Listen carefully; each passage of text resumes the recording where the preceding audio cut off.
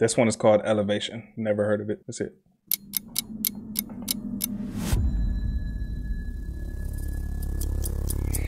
I can only assume it's like Three years ago, a movie about a the plane or some world we knew disappeared overnight.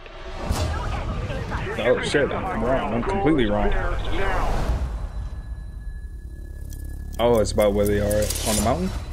Descending a mountain. We lost our homes, our communities, and most of the people we loved.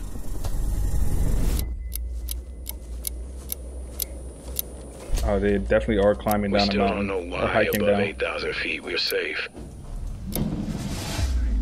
Go, go, go, go! What the fuck? From the producers Hunter's of uh, last Quiet filter Place. burnt out. The hospital in Boulder will have a crate of them. You're gonna have to go below the line at least a dozen times. If I don't go, Hunter dies. They can't be killed. But no one's had a chance to study them. You study something long enough, you can figure out how to kill it. If it doesn't kill you first. Run!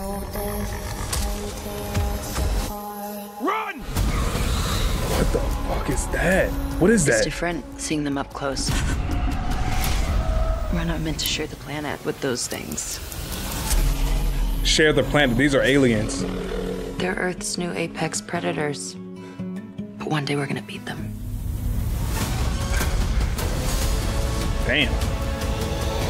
I can't do this alone. Come on, Will! We're gonna have to fight them eventually. Hell no.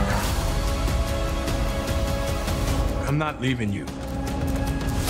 We're in this together. Boy, Anthony Mackie, humanity's final fight. A lot more of us are gonna die. Begins at 8,000 feet. I can't lose you. This is about more than just your son. Hold on now. Thing is more than my son.